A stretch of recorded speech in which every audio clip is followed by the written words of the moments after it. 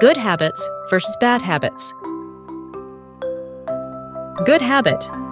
Bad habit. Getting up early is a good habit. Getting up late is a bad habit. Brushing teeth daily is a good habit. Not brushing your teeth daily is a bad habit.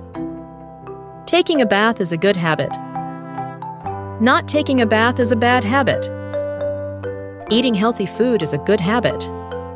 Eating junk food is a bad habit. Speak the truth is a good habit. Speaking lies is a bad habit. Exercise regularly is a good habit. Do not exercise regularly is a bad habit.